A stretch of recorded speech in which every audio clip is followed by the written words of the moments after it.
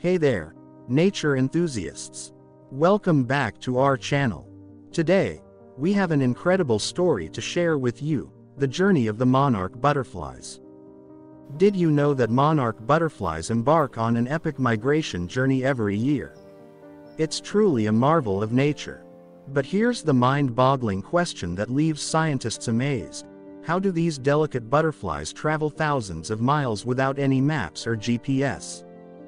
The monarch butterfly's migration spans from their breeding grounds in North America all the way to their wintering grounds in Mexico. It's a journey that takes several generations to complete, and yet, they navigate with astounding precision. Unpredictable weather conditions and natural predators are just some of the challenges they face during their migration.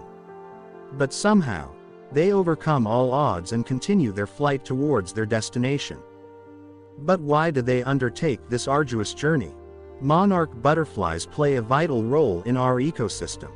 They pollinate various flowers, aiding in the reproduction of countless plant species, and act as an essential food source for birds and reptiles.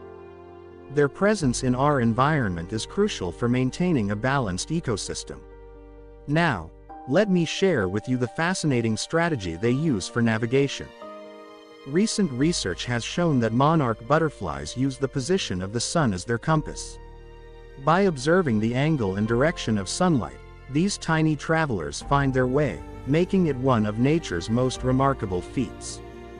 As we witness their incredible journey, it's vital for us to protect their habitats and conserve the milkweed plants they rely on for survival.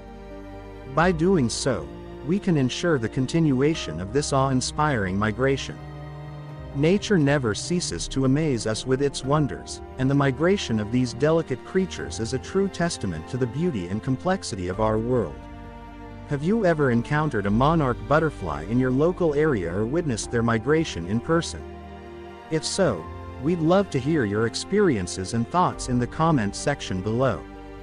Don't forget to subscribe and hit the bell icon so you can never miss an upload. That's it for today's video, hope you enjoyed.